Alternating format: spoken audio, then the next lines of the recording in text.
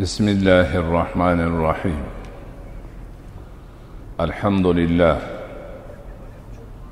الحمد لله الذي فرض علينا صيام شهر رمضان.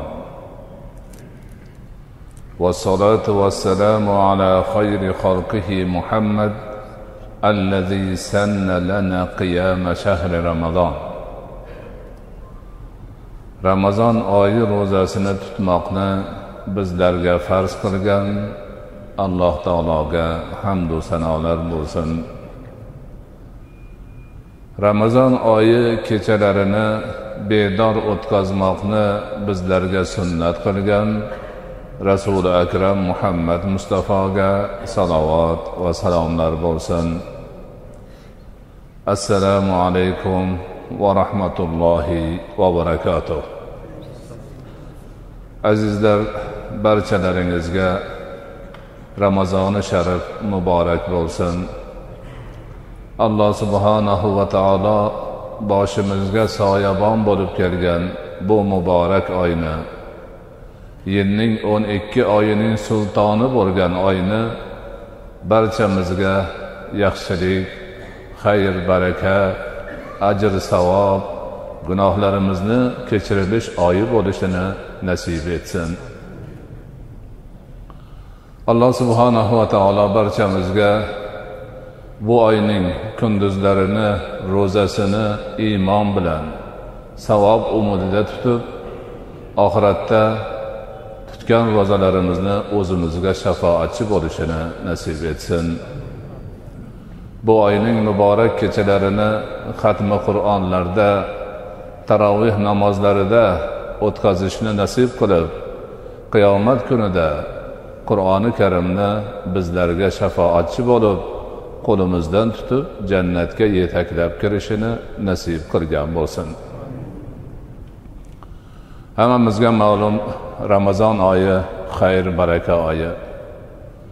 Bu oy allohning rahmati yog'iladigan bir oy.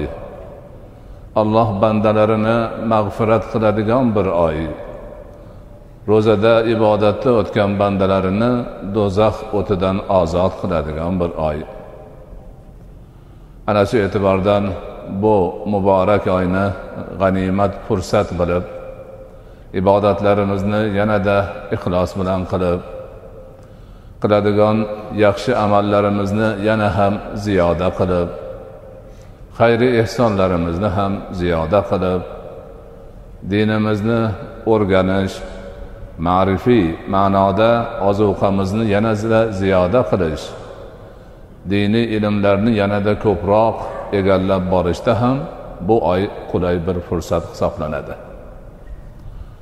Alloh subhanahu va taolo shu oyning barakotidan mazkur ishlarni barchasiga ibodatlarga ham xayri sadaqalarga ham ma'rifiy urinishlarga ham beradigan ajrini savobini ko'paytirib beradi. Ana shu e'tibordan musulmon ummati qadimdan bu oyni juda intiqlik bilan kutadi. Kirib kelganidan quvonadi bayram qilgandek nishonlaydi va qo'lidan kelgan barcha yaxshiligini ko'proq qilish paydan bo'ladi.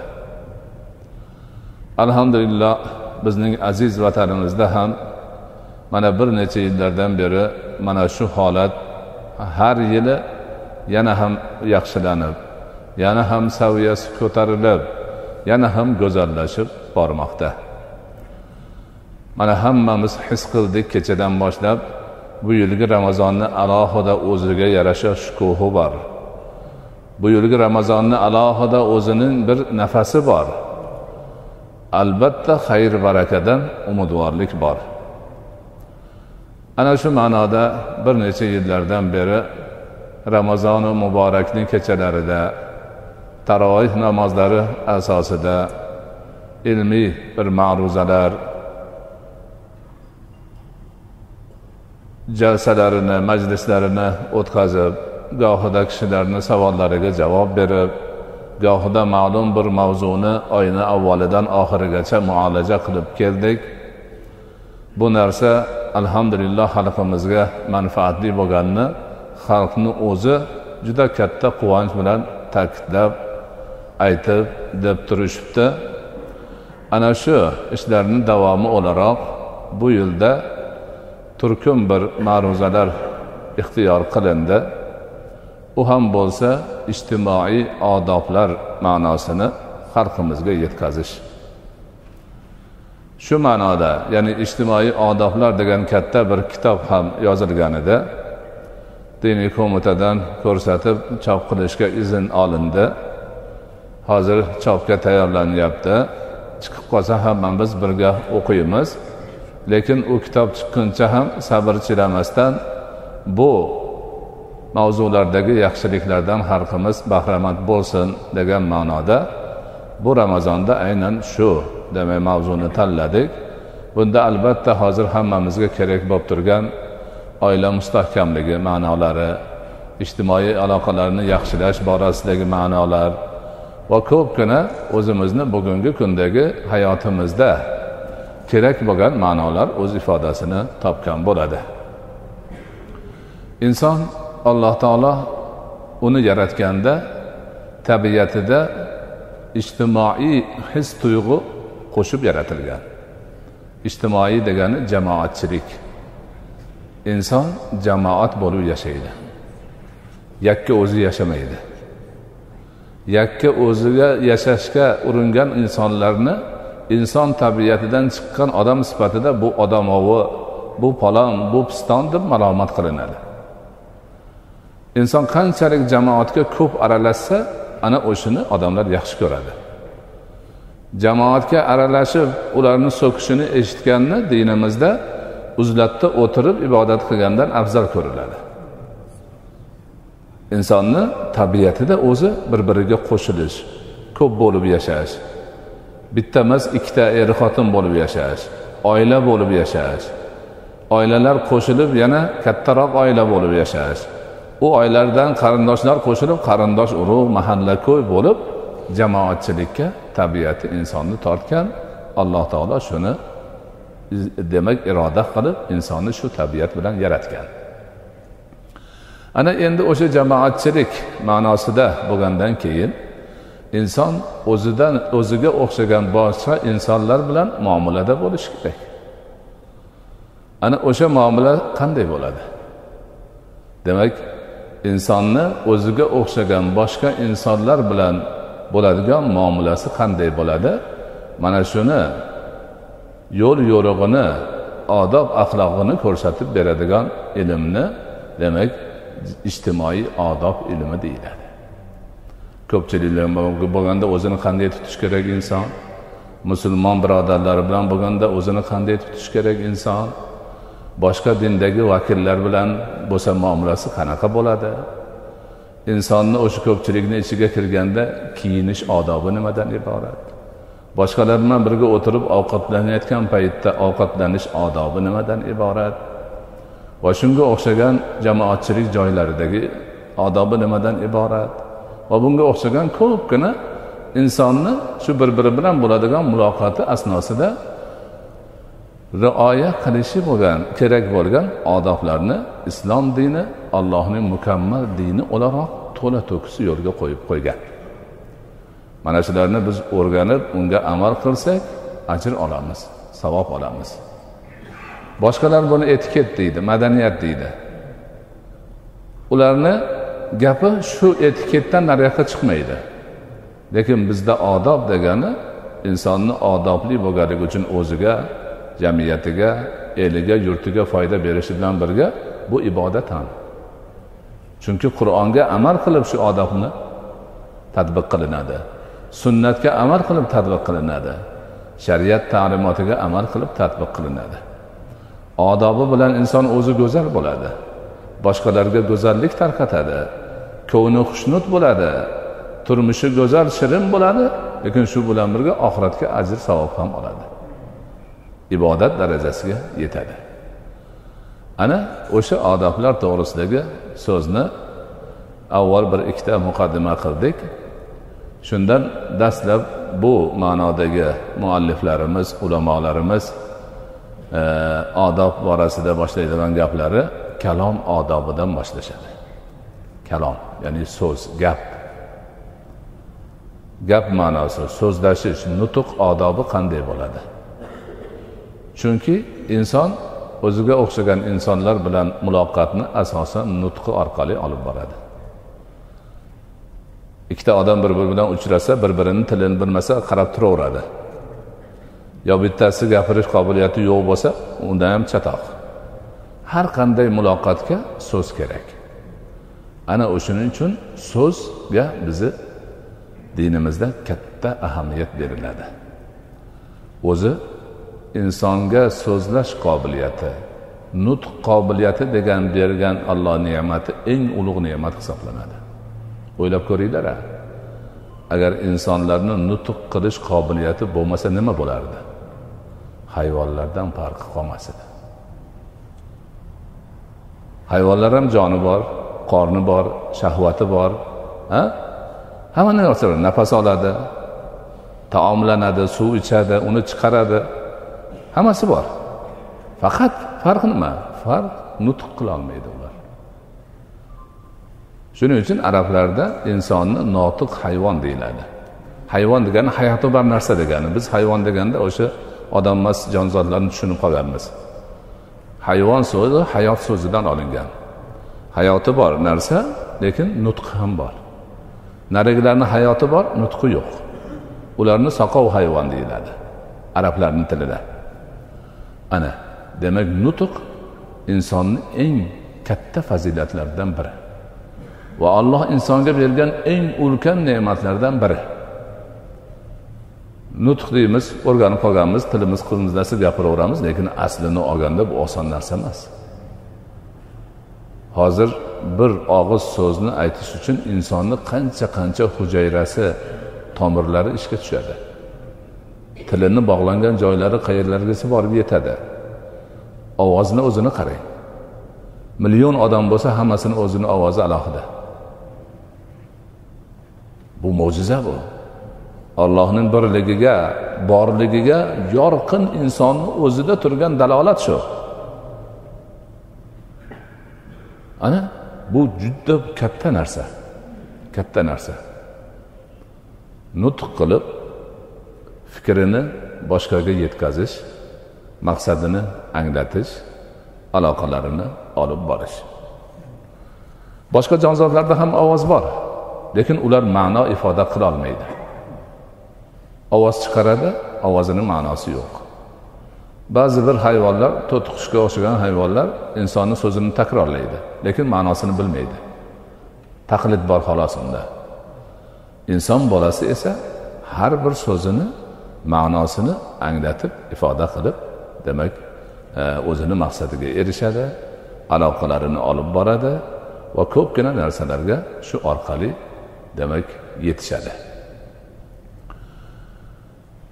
Nutq shunday ulug' ne'mat bo'lishi bilan birga alloh taolo shu nutq orqali insonga yana bir buyuk osonlik yaratgan. Butun ashyolarni dunyodagi mavjudotlarga ism qo'yish qobiliyatini bergan buni qur'onni o'zida ham aytib qo'ygan وعلم آدم الأسماء كلها ثم عرضهم على الملائكة قال أنبئوني بأسماء هؤلاء إن كنتم تعلمون alloh taolo odam otamni yaratganda narsalarni ismini o'rgatdi o'rgatib turib farishtalarga aytdiki mana shu ismlarni sizlar aytib beringlarchi degdi aytisholmadi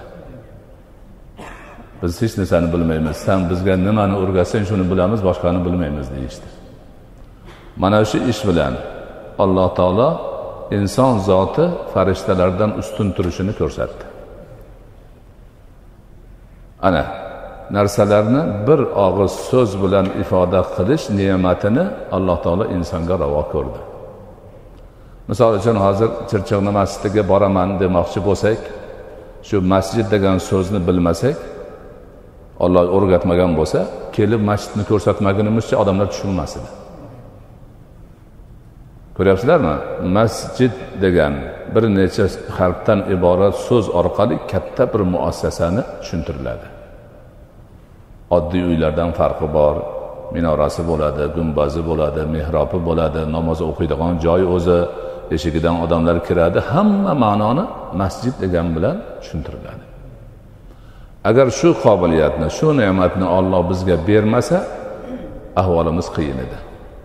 Har bir narsani odamlarga gapirmoqchi bo'lsa o'zini oldiga olib borib ko'rsatishimiz kerak edi. Mana uni to'g'risida aytmoqchiman deb. Ana alloh taolo bu tarafdan ham katta inson zotiga demak ne'mat berdi. Nutq ne'mati narsalarga ism qo'yish ne'mati insonni ongini demak ravshanlantirish borasidagi bu katta narsalar albatta o'ziga yarasha har bir ne'mat kabi shukronani talab qiladi. Nutq ne'matiga shukur qilish esa shu nutq ne'matini alloh taolo bergani uchun u zotga maqtov shukur so'zlarini aytish ma'naviy shukrona bo'ladi. Endi shu nutq ne'matini olloh xohishicha tasarruf qilish esa amaliy shukur bo'ladi. Insonni o'ziga qo'yib bersa har narsa qiladi mana sizlarga nutq qobiliyatini berdim gapiraveringlar desa har kim har narsani qiladi. Shu nutqni yaxshilikka ishlatadigan odam bor yomonlikka ishlatadigan odam bor. Kichikroq yomonlikka ishlatadigan ham bor. Butun xalqni boshiga kulfat keltiradigan narsalarga ishlatadigan ham bor. Ana o'shani bilganidan alloh taolo nutq ne'matini iste'mol qilish ishlatish yo'lini ham o'zi o'rgatib qo'ygan. Qaysi nutq yaxshi allohga yoqadi qaysinisi yomon allohga yoqmaydi va uni qilmaslik kerakligini dinida aytib qo'ygan. Qur'onida aytib qo'ygan. Qur'onda ayt aytma degan qancha oyatlar bor. Rasulini sunnatida bayon qilib qo'ygan shariatini ahkomida bayon qilib qo'ygan. Ana bu narsalarni biz o'rganib shu ilmimiz asosida nutq degan ne'matni tasarrufini qiladigan bo'lsakkina shu ne'matga shukurni o'rniga qo'ygan bo'lamiz. Bizning dinimizda so'zning vazni nihoyatda ulug'dir.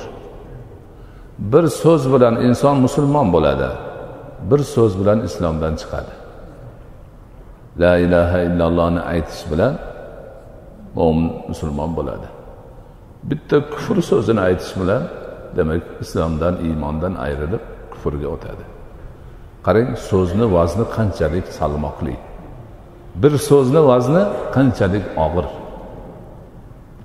Bir biriga nomahram bo'lgan ikki jinsdagi shaxs nikoh vaqtidagi bir marta roziman ikkinchisidan qabul qildim degan so'z bilan oralaridagi aloqa haromdan halolga aylanadi va er xotin bo'lib birga yashashlariga shariat ruxsat beradi. Olloh ko'rsatmasin yengiltak erkakni taloq degan so'zi bilan shu muqaddas aloqa buziladi. Ikkovlari bir biriga haromga aylanishib qoladi. Mana mana shundan so'zni vazni qanchalik ahamiyatli ekanligi salmog'i qanchalik ulug' ekanligini tushunib olishimiz kerak. Ana shu e'tibordan biz so'zlash jarayonida gap aytish jarayonida nimani aytayotganimizga ahamiyat berishimiz kerak. So'zlarni aytib ajr savobga ko'milib ketishimiz mumkin. Misol uchun subhanallohni takrorlaganga osmon bilan yer orasida savob beriladi subhanalloh deganga. Bir kufr so'zni aytganga o'zi kofir bo'lib jahannamga ravona bo'ladi. Shuning uchun ulamolar aytadiki til nihoyatda nozik narsa suyaksiz narsa. Tilga ko'p narsa bog'liq. Shuning uchun tilni tiyish kerak. Hukamolar aytadiki tilni tiyish zarur bo'lganidan u ko'p narsalarni ichiga solib qo'ygan alloh taolo. Tilni og'izni ichiga qo'yib qo'ygan atrofidan o'rab qo'ygan tish to'sib turadi lab to'sib turadi boshqalar to'sib turadi qamoqda turadi. Shu qamog'ini ochib yuborsa insonni boshiga ofat keltirishi mumkin. Sahobalardan ba'zilari aytadilar sizlar o'ylab ko'ringlar nimaga odamga ikkita quloq bitta til berilgan? Quloq ikkita. Til bitta nimaga? Oz gapirsin ko'p eshitsin deb qilingan shuning uchun tilni tiyish tilni kerak vaqtda to'g'ri tarzda tasarruf qilish o'ta muhim ish hisoblanadi. Alloh subhanahu va taolo qur'oni karimda rasululloh o'zlarining shariat e, sunnatlarida va shariatimiz ahkomlarida til ofatlari degan tushuncha bor. Ya'ni tilga bog'liq insonni boshiga ofat keltiradigan bir necha narsalar bor. Shularni mo'min musulmon insonlar yaxshilab o'rganib ulardan ehtiyot bo'lishlari kerak. Imom g'azoliy o'zlarini buyuk kitoblari ehyo ulumiddinda ayniqsa shu til ofatlari to'g'risida alohida bob ochib juda keng bu narsalarni sharh qilib berganlar. Til ofatlaridan bittasi yolg'on. Yolg'on til bilan bo'ladi. Ya'ni yo'q narsani to'qib gapirish yolg'on deyiladi. Yoki bor narsaga ma'nosini buzib boshqa narsani gapirish yolg'on deb aytadi. Bir ish bo'lib o'tgan bo'lib o'tyapti deydiyu orasida bir yolg'onni qo'shib qo'yadi ish chappasiga aylanadi to'g'ridan teskariga aylanib qoladi. Yolg'on qasam ichish bor yolg'on guvohlik berish bor hammasi bir biridan og'ir hammasi gunohi kabiralarga kiradi. O'zi shu suyaksiz til bilan aytiladi bitta so'z ikkita so'zdan iborat bo'ladi. Lekin ofat ofat bo'lganda ham katta ofat. Alloh taolo qur'oni karimda yolg'onni iymon keltirmaydiganlargina gapiradi degan. Ya'ni yolg'on chiqishiga o'ziga ravo ko'rgan odam iymon taqozosiga qarshi ish qilayotgan odam deb tasvirlangan qur'oni karimda. Yolg'on o'sha yolg'on gapiruvchini o'ziga oilasiga jamiyatiga va butun insoniyatga balo ofat keltiradi. Katta yomonliklarga sabab bo'ladi. Shuning uchun mo'min musulmon inson zinhor va zinhor yolg'on gapirmasligi kerak. Gapni yolg'onni aralashtirib buzmasligi kerak. Yolg'on qasam ichmasligi kerak. Va yolg'ondan guvohlik bermasligi kerak. Bularni hammasi og'ir gunohlar gunoyi kabiralar hisoblanadi. hammasiga hadislar bor. Rasuli akram alayhissalotu vassalom aytadilar ayatul munafiqu thalasun ida haddasa kazaba va ida va'ada axlafa va ida utumina xona munofiqning belgisi uchtadir. Qachon gapirsa yolg'on gapiradi. Qachon va'da bersa xilof qiladi. Qachon omonat unga ishonib topshirilsa xiyonat qiladi. Ana munofiqlikni uch alomatidan biri gapirganda yolg'on gapirishdir. Yolg'on gapirgan odam munofiqlikni uchdan birida u birini o'zida mujassam qilgan bo'ladi. Yolg'on guvohlik berish birov qilmagan ishini qozini oldida qildi deb aytish yoki qilganini qilmadi deb guvohlik berish bu eng katta gunohlardan. Rasululloh gunohi kabiralarni gapirib yonboshlab turib gapirib turib keyin ulardan turib to'g'rilanib o'tirib olib turib o ogoh bo'linglar shahodati zo'r deganlar. Ya'ni alohida ta'kidlab turib aytganlar yomon yolg'on guvoh berishlik shunaqa og'ir narsaligidan bugungi kunimizga qarasak odamlar ko'z yummay yolg'on gapirishadi bir birini aldashadi. Aldayotgan aldayotganini bilib turadi. Eshitayotgan ham bu aldayapti deb turadi lekin gapirishaveradi har qadamda uchraydi. Nima uchun? Shuni bilmaganimizdan. Katta gunohligini tushunib yetmaganimizdan. Birov bizga buni ta'kidlab aytmaganidan yoki bo'lib o'tgan voqeani gapiryotib yolg'onni qo'shib gapirish o'zini foydasiga burib o'zini yaqinini foydasiga burib o'ziga yoqmagan odamni zarariga to'g'rilab gapni qo'shadi. Bo'lib o'tgan gap o'zi. Bo'ldi u bo'ldi bu bo'ldi deydiyu haqiqatni burib teskarisini gapiradi. Bu ham har qadamda uchraydi. Yolg'on guvohlik berishlar ham shu. Aka ukalar bir biriga yolg'on guvohlik berishyapti. Eri xotinlar bir biriga yolg'on guvohlik berishyapti. Bulardan saqlanish kerak. Bularni tark qilish kerak. Inson rostgo'y bo'lishi kerak. Tutayotgan ro'zamiz aynan shu. Insonda yolg'onchilik qobiliyatini yo'qotishga susaytirishga xizmat qilishi kerak من لم يدع قول الزور والعمل به فليس لله حاجة في أن يدع طعامه وشرابه rasululloh aytyaptilar bir odam ro'za tutib olgan yolg'on gapini qo'ymayapti u ro'za tutib olib yolg'on gapini qo'ymasa uni och qolganidan u chanqaganidan allohga hech qanaqa hojati yo'q deyapti mana shu ro'zamiz bizni yolg'onchiligimizni tark qilishga omil bo'ladigan buyuk bir yordamchi bo'lishi kerak. Ro'zani tutib qorinni ovqat ichimlikdan farjini shahvatdan saqlasa bir ro'za. Amal taqal qilib saharlikdan iftorgacha yetib oladi. Bu eng past darajadagi ro'za. Lekin shuni ustiga a'zolarini ham yomonlikdan tiysa ko'zi bilan haromga qaramasa qo'li bilan haromni ushlamasa oyog'i bilan gunohga yurib bormasa va tili bilan yolg'on gapirmasa ro'zasini darajasi ko'tariladi. Bu endi xoslarni ro'zasiga aylanadi. Mana ro'zani haqiqiy tutgan odamda yolg'on gapirish umuman qobiliyati qolmaydi gapira olmay qoladi. Dinga yangi ruxsat berilib sakson to'qqiz to'qsoninchi yillarda ko'pchilik endi mana namozni ro'zani o'qishni boshlaganda man mana shu yalang'och ota tarafga bir yerga marosimga keldim. Bir institutda o'qituvchi bo'lib ishlaydigan kishi ham o'sha yili birinchi marta ro'za tutgan ekanlar. Haligi ro'zani halovatini gapirib xursand bo'lib yuravergan ekanmiz odammiz deb. Shuncha ulug' narsa bor ekan qilmagan ekanmiz. Qarang mana ro'za tutdik allohga shukur yaxshi bo'ldi.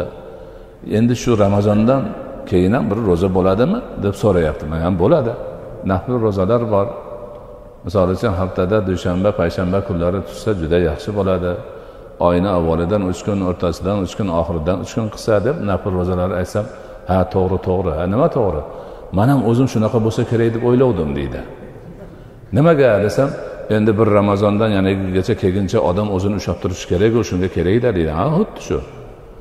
Siz nimaga unaqa deyapsiz desam bu yil deydi ro'zani tutib olib institutni ishi bilan u bu idoralarga kirdim deydi.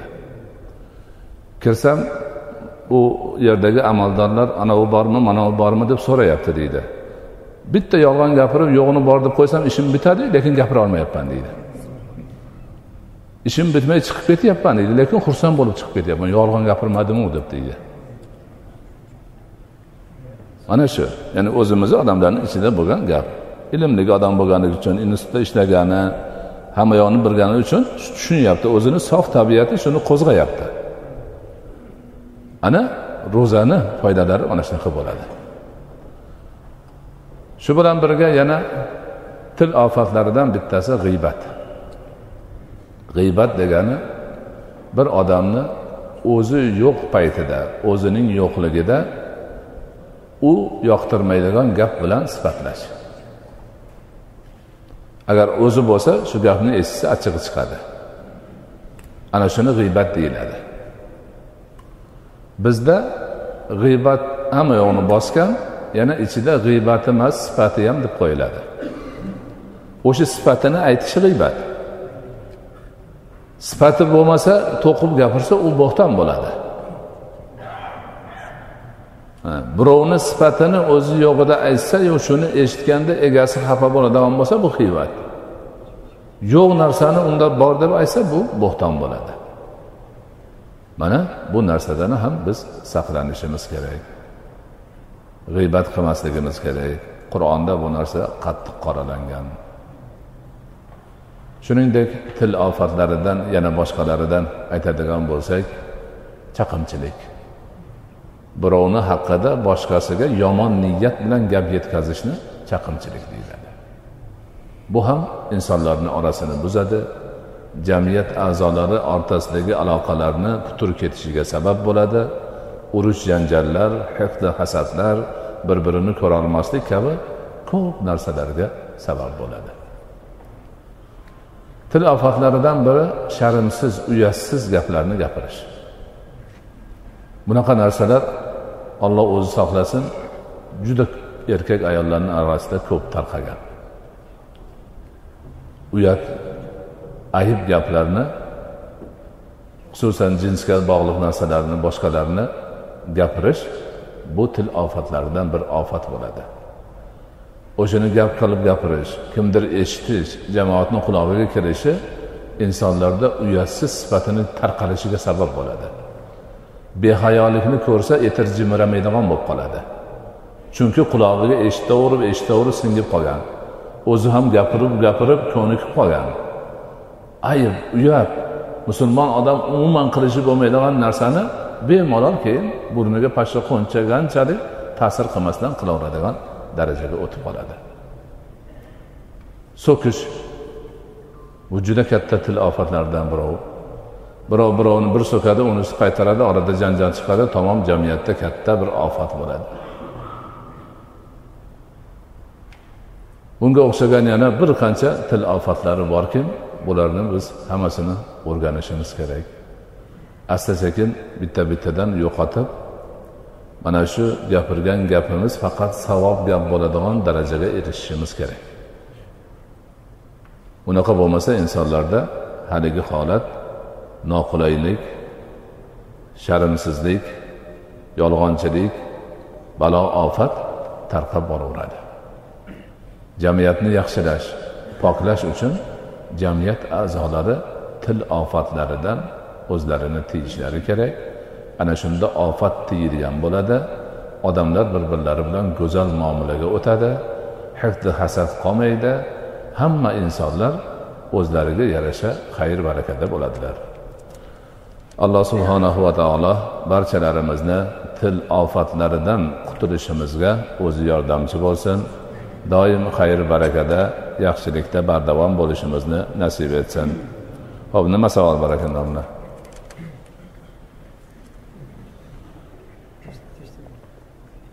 ko'p joylarda savdo sohasida yolg'on gapirish va tarozidan urish odatiy hol bo'lmoqda. Shu haqida nasihat qilsangiz debdi ha. Ko'p joylarda savdo sotiq asnosida yolg'on gapirish tarozidan urib qolish tarqalib qolgan. Shu to'g'risida bir ikki og'iz so'z bo'lsa degan. Hozirgi gapimizni davomi. Demak savdoda yolg'on gapirib molini yolg'ondan maqtash katta gunoh hisoblanadi. Aksincha agar molda ayb bo'lsa aybini aytib sotmasa ham gunoh bo'ladi. Bizda hozir teskarisi hamma narsa teskarisi yolg'onni har xil turi bor. Meva sotayotgan odam o'zini mevasi chatoqroq qo'shnisidan olib oldiga qo'yib qo'yadi ikkita uchta. Odamlarni aldash uchun. Bu yoqdan o'sha rasmosini olib odamni ko'zidan bekitib sotishga paydan bo'ladi. To'g'risini aytish u yoqda tursin odamlarni aldash yo'llarini har xil uslubini qilishadi. Tarozidan urib qolishni ming xil yo'li bor. Agar avvalgi vaqtdagi pallali tarozilar bo'lsa pallani bir tarafiga bir narsalarni qistirib qo'yish bo'ladi. Hozirgi nima bilan tortadigan unda ham shunaqa. Ko'pchilik qopda olib kelsa qopini yonini tikib qo'yadi. Qop qop deydi lekin ellik kiloni o'rniga qirq besh kilo qirq yetti kilo narsani yolg'on gapirib sotadi. Bular hammasi gunoh. Bular hammasi barakani o'chiradi. Ana shunaqa hilla naydan qilgan savdogarlarni qarab turinglar barakasi bo'lmaydi. Nomini yozib olib orqasidan kuzatinglar bir kun bir yil bir oy ehtimol ishi yurishib turar lekin baribir bir kuni borib ishi rasvo bo'ladi. Chunki birovni haqqini uryapti. Birovni haqqini yeyapti yolg'onchilik qilyapti odamlarni aldayapti buni kasofati urushi bor. Baraka qaysanda? Baraka ixlos bilan borini aytib sotishda ollohni o'zidan baraka so'rashda baraka nima? Baraka pulni million millionda bo'lishida emas o'ziga yuqishida. O'ziga yuqishida o'ziga bolasiga yuqyapti yeb turibdi sog' salomat yashab ollohni ibodatini qilib turibdi. Birovni aldab tarozidan urib yolg'on gapirib million million to'plaganini qarasangiz yo bolasida yo xotinida yo oilasida notinchlik yo'q. Yo qand kasali bo'lgan yo u bo'lgan yo bu bo'lgan. Qaranglar razm solinglar. Nomini yozib olib orqasidan kuzatinglar. Bu bo'ladi. Chunki halol doim yaxshilikka olib keladi. Harom doim zararga baloga kulfatga yetaklaydi. Ana nafaqat tarozidan savdoda. Hamma tarafda shu. Mana shu taraflarga e'tibor berishimiz kerak. Ma'ruzalaringizni telefonimizga ko'chirib olib eshitib yursak bo'ladimi? Ha bo'ladi. Bo'ladi. Telefonga ko'chiriladimi boshqagami bemalol.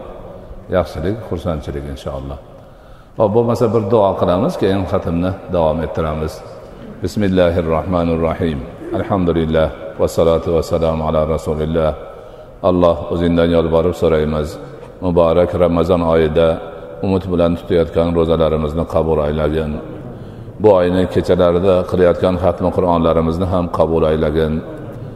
Ramazon oyidan katta manfaatlar bilan gunohlarimiz mag'firat bo'lib bo'lgan holda chiqishimizda o'zing yordamchi bo'lgin. Alloh bugungi darsimizda til va so'z vazni to'g'risida til ofatlari to'g'risida suhbatlashdik. Bu suhbatimizni ham barakotli qilgin doimo kalimani so'zni salmog'ini biladigan so'z ne'matiga o'rnida shukur keltiradigan kufroni ne'mat qilmaydigan til ofatlaridan saqlanib yuradigan bandalaringdan bo'lishimizni nasib etgin. Doimo o'zingni ibodatingda sobit qadam bo'lishimizni siroti mustaqimda barqaror bo'lishimizni o'zingni roziligingni topib ikki dunyoning baxtiga saodatiga musharraf bo'lishimizni o'zing ta'minotchisi bo'lgin va sallallohu taala ala xayri xalqihi muhammad va ala alihi va ashabihi ajmain برحمتك يا ارحم الراحمين